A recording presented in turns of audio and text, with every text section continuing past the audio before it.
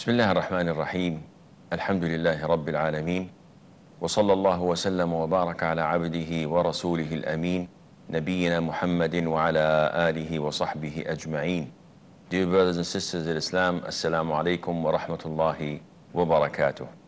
Surah Al-Duha is one of the beautiful surahs of the Quran and one of the very beginning surahs, one of the first surahs in the beginning of the Mecca Da'wah period. Al-Duha is the time that comes after sunrise and before noon. And that is why we have duha prayer. After Fajr, you're not allowed to pray until the sun rises about 10 to 15 minutes.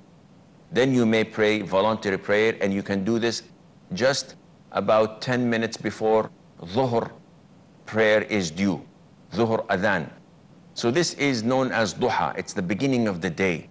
And this surah, it was said that when the Prophet ﷺ received the revelation and he called people to Islam, there came a short period of time when the revelation stopped and the people, the disbelievers, mocked the Prophet ﷺ, telling him that your Lord has forsaken you. He has left you. He's not giving you any revelation. Your devil that accompanies you is the one who gives you this revelation. He's gone from you. So Allah Azza wa Jal revealed this beautiful surah, showing His Prophet sallallahu the numerous blessings and favors of Allah upon him. And Allah says, وَالضُّحَى وَاللَّيْلِ إِذَا سَجَى Allah swears by the forenoon and by the night when it is still or by its darkness. So Allah Azza wa Jal is again morning and evening, day and night. What is Allah Azza wa Jal swearing by? Allah says, ما ودعك ربك وما قلى. Your Lord has neither forsaken you nor hated you. Unlike what the disbelievers mock and say about you, O Muhammad, wasallam, Allah did not leave you. Allah does not hate you. Allah loves you. You are the most beloved creature to Allah the Almighty. And then Allah Azza wa Jal tells His Messenger wasallam that don't be concerned about this dunya. This dunya is a transitional period. Don't be worried about it. وَلَلْآخِرَةُ خَيْرٌ لَكَ مِنَ الْأُولَى Because indeed, the hereafter is better for you than the present, meaning this life that you live in. So it is not worthy of you being worried or depressed because what awaits you is far greater than what you are having here. وَلَسَوْفَ يُعْطِيكَ رَبُّكَ فَتَرْضَى And rest assured, verily your Lord will give you so that you shall be satisfied or well pleased. Allah will give you until you are well pleased. And this is a promise from Allah Azza wa Jal. And if you look at the biography of the Prophet ﷺ, you will find that he was the most content and the most pleased person of all times. And then Allah Azza wa Jal lists down some of his favors and blessing upon his messenger sallallahu alaihi wasallam. Allah says, "Alam yajidka yatiman fa'awa?" Didn't Allah Azza wa Jal find you an orphan and gave you refuge, gave you shelter? We all know that the Prophet alayhi salatu wasalam, his father died when he was in his mother's womb. So while his mother was pregnant, he became an orphan. And before he finished six years of age, his mother died. And his grandfather, Abdul Muttalib, took him in. And one or two years later, his grandfather died, and his uncle Abu Talib took care of him. So since the very beginning of his life, it was a tragedy after a tragedy and a misery after misery, only so that no one could take care of him except Allah Azza wa Jal. No father, no mother, and no grandfather. It was Allah who brought him up, subhanahu wa ta'ala. Found him an orphan and gave him refuge and a shelter. Allah says, وَوَجَدَكَ ضَالًّا فَهَدَى And he found you unaware and guided you. The Prophet did not know, wasallam, the Quran, did not know the revelation, did not know what to do and what not to do. All what he had was his pure nature. He refused to worship the idols with the idol worshippers, though it was the norm and everybody did it. He refused to eat anything that was slaughtered other than the name of Allah. So if they slaughtered their sheep and sacrifice it to their idols, he would not consume anything out of it. So Allah Azza wa Jal found him and he did not know and Allah guided him, the Almighty. وَوَجَدَكَ عَائِلًا فَأَغْنَى And Allah found him poor and made him rich. In the sense that the Prophet ﷺ once said, no messenger before me would not care for the sheep and become a shepherd. Every single messenger had shepherd and had cared for the sheep. And they said, you too, Prophet of Allah? He said, I as well did this. I took care of the sheep of so and so in Mecca for a number of coins or a number of qararit. So even the Prophet himself was a shepherd. He was in need of money because his uncle Abu Talib was poor and he had lots of children. And then Allah Azza wa blessed him by marrying Khadija, who was rich, and she treated him as he deserved to be treated. So it is Allah Azza wa who transformed his life from poverty to wealth. This is part of Allah's grace upon His Messenger sallallahu alaihi wasallam. Therefore, Allah Azza wa tells him, فَأَمَّا الْيَتِيمَ فَلَا تَقْهَرْ As you were an orphan, and Allah Azza wa gave you refuge, therefore treat not the orphan with oppression. And in Islam, it is one of the major sins to treat an orphan with oppression. And it was one of the best deeds that would elevate your level in paradise to take care of the orphans. This is part of Islam. This is part of the essence of Islam to take care of the orphans, of the needy, of the poor. And it shows you the beauty of Islam. It is an, a religious obligation. It's not something that you do because you're kind or you're nice or you want to be acknowledged among the people. وَأَمَّا السَّائِلَ فَلَا تَنْهَرْ And repulse not the beggar. And the sa'il, the one who asks. Usually it refers to person who begs, who needs, who's in need. So him, do not talk in a harsh way. Do not repulse. But also, sa'il can mean a person who seeks knowledge, as in the case of the blind man, if you remember. So if there is a blind man, if there is someone who's in need of knowledge and he comes to you, you should not repulse him. You should not reject him. You should be kind to him. And this is the norm. This is generally speaking, unless there are exceptions if people are impolite or ask questions that are inappropriate and insist on making a scene. Sometimes you have to reprimand such people.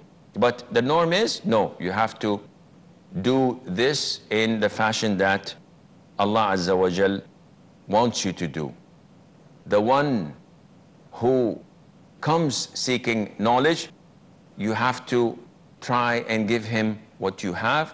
And the one who asks for help, you should assist him in the way that you can. وَأَمَّا بِنِعْمَةِ رَبِّكَ فَحَدِّثْ And proclaim the grace of your Lord. Allah Azza wa says that whatever Allah favors you with, Whatever Allah graces you with, you should proclaim it. You should announce it. Don't say, I did this and I did that. It is Allah Azza wa Jal who had given it to you. It is Allah Azza wa Jal who made things easy for you. And from this beautiful surah, we see the favors and blessings of Allah Azza wa Jal upon His Messenger. And this is an eye opener for us to see Allah's numerous favors and blessings upon us. And we learn that the road to Jannah is far greater than what we're living for in this life. This is a transitional period. وَالْآخِرَةُ خَيْرٌ لَكَ مِنَ الْأُولَى And the hereafter is better for you than this life. And this is addressed to the Prophet ﷺ. So we should not fight and strive so hard to collect this life on the account of the hereafter. It should be the other way around. We should strive here to reach the highest level in paradise as Allah Azza wa Jal ordered His Messenger sallallahu alayhi wa. This is the conclusion of Surah Al-Duha. We have a short break, so stay tuned. A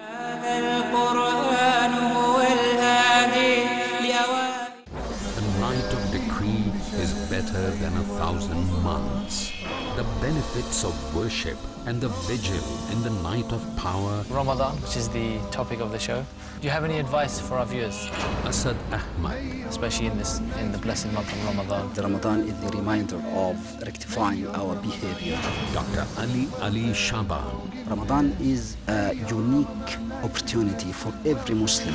and the reasons behind this revelation and its power emphasized as the human heart transcends towards godly glory. If you apply Ramadan to the rest of the year, Tariq Ali surely you are going to be much, much better in all fields, all aspects. and the gratitude of the soul reaches out to worship the Almighty One on this esteemed night. just to, to stick more and more of the time to the Holy Quran.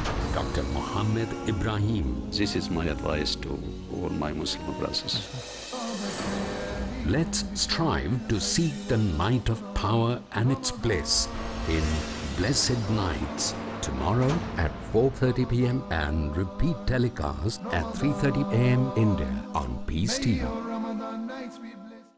اقرأ باسم ربك الذي خلق خلق الإنسان من علق Book of Allah is the foundation of Islamic civilization way out of every trial. Every generation of Muslims needs to develop a relationship with the Quran. So join me, Riyaz Ansari, for reflections on the Quran. Explore how the Quran has a wondrous impact on those who receive it as a book of guidance in Reflections on the Quran with Riyaz Ansari. Tomorrow at 8 p.m. and repeat telecast at 8.30 a.m. India on Peace TV.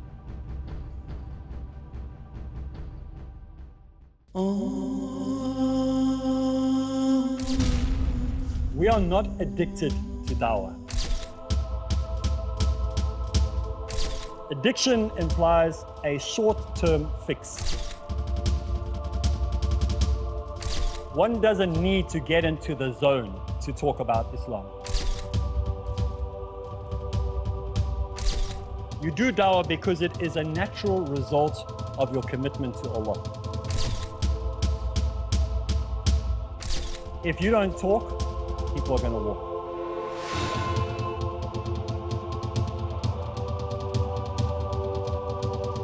The most effective combination in the propagation of true Islam is found in Dawa Ilallah. Join me, Arif Islam, as we go through Dawa Ilallah only on Peace TV.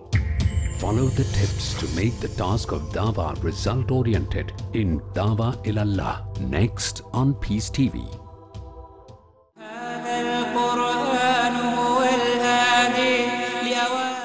Assalamu alaikum and welcome back. Surah Al-Sharh, Al-Inshirah, the expansion of the chest. Chapter number 94, Allah Azza wa Jal again shows His favors and blessings upon His Messenger, sallallahu alayhi wa alihi sallam. Allah says, Alam nashrah laka sadrak? Have we not opened your chest for you, open your breasts for you. And this is not physically in the sense that Allah has expanded the chest of His Messenger wasalam. And how would that be? Well, Allah Azza wa Jal has purified physically and mentally His Messenger's heart. Twice, Jibril came and opened his chest, took his heart and washed it in a plate of gold in Zamzam water, cleansed it from hatred, envy, grudges, and put it back again, physically. And this is a miracle. And that is why the Prophet ﷺ was the kindest of all man. He had no grudges, he had no hatred. And if you go through his biography, you cannot hold yourself from loving him, from feeling what he went through, sallallahu alayhi wa. So Allah Azza wa Jal is telling his messenger, have we not opened your chest? Didn't we install in it the satisfaction and the content, no matter what happens? But you feel this.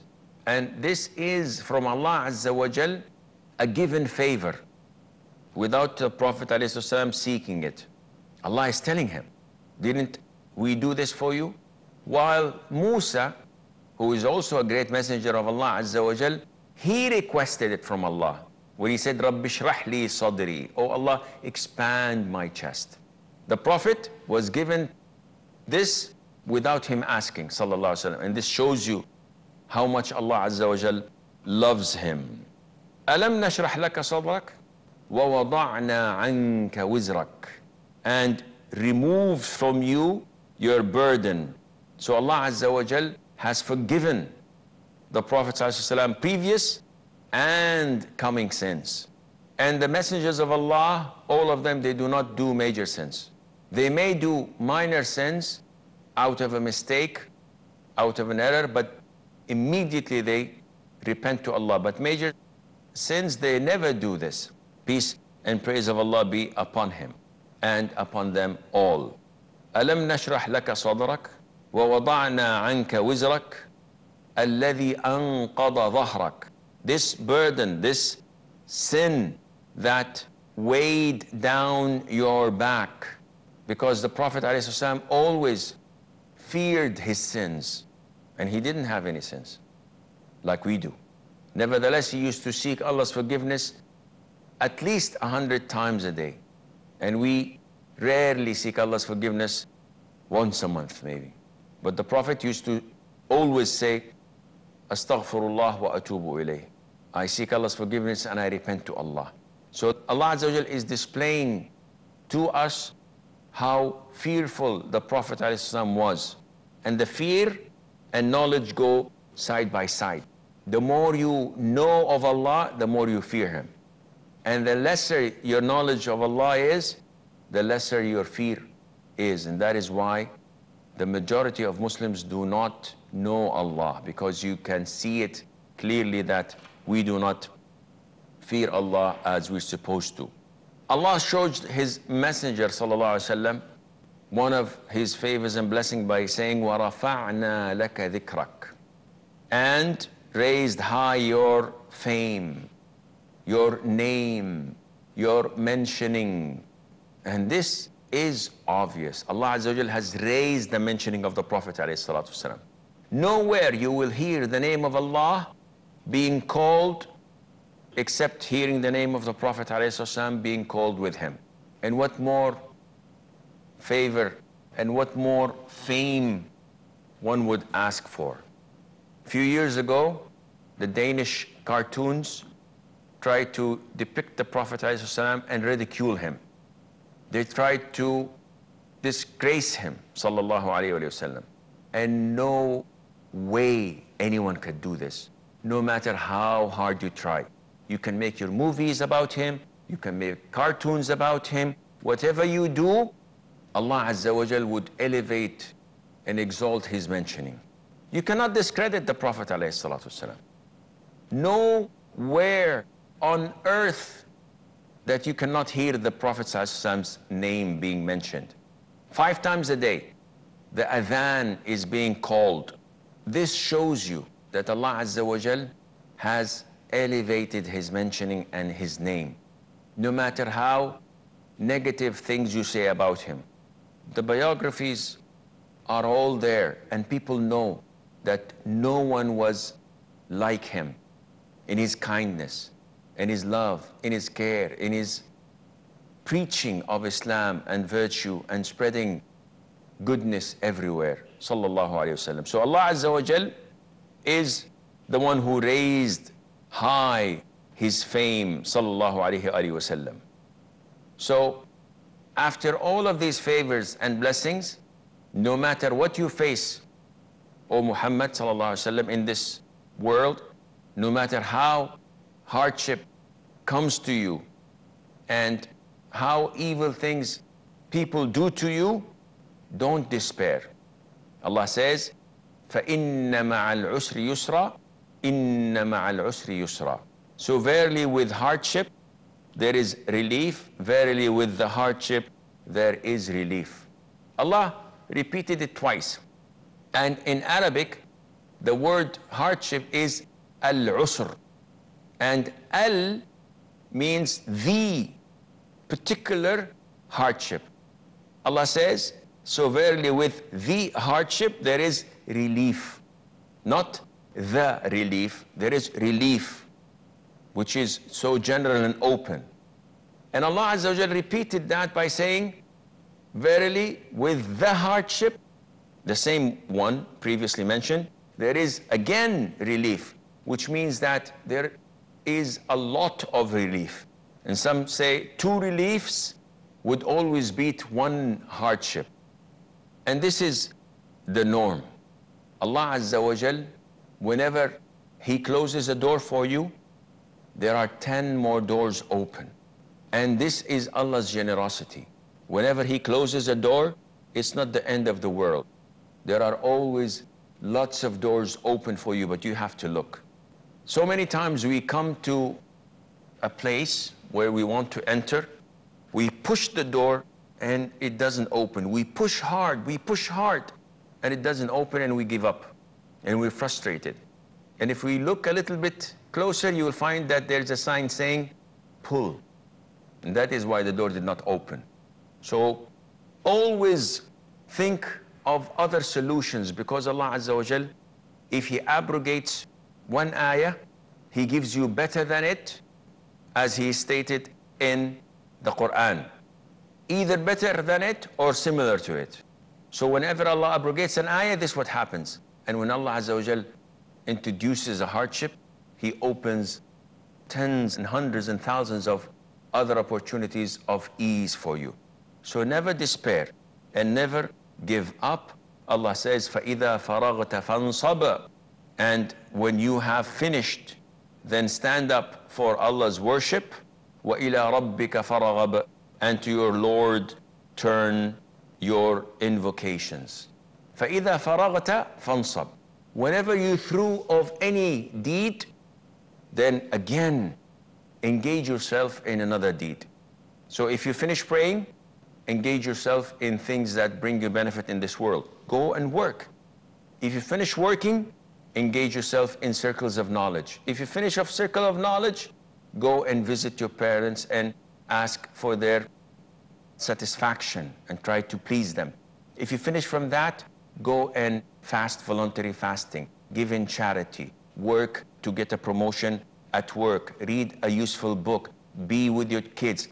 Always keep constantly doing things that are beneficial, whether in forms of worship or in this worldly matter. Some people say that we will stay in the masjid, read Quran, and that is it. Who will feed you? There are people who would give us food. No, Allah does not like the lower hand. Allah loves the upper hand that gives. Go and work. Go and try to progress and develop things, improve things. Get a higher education, get an MBA, get a PhD, do something that's useful for you and for the community. But all the time, keep in mind وَإِلَى رَبِّكَ فَارْغَب That whatever you do, do it for the sake of Allah Azza wa Jal, asking Allah Azza wa Jal to give you and to grant you because success comes only from Allah and from Allah alone. This is all the time we have. Until we meet next time, في أمان الله والسلام عليكم ورحمة الله وبركاته. هذا القرآن يوحدنا لطريق الخير يوجهنا. الله تعالى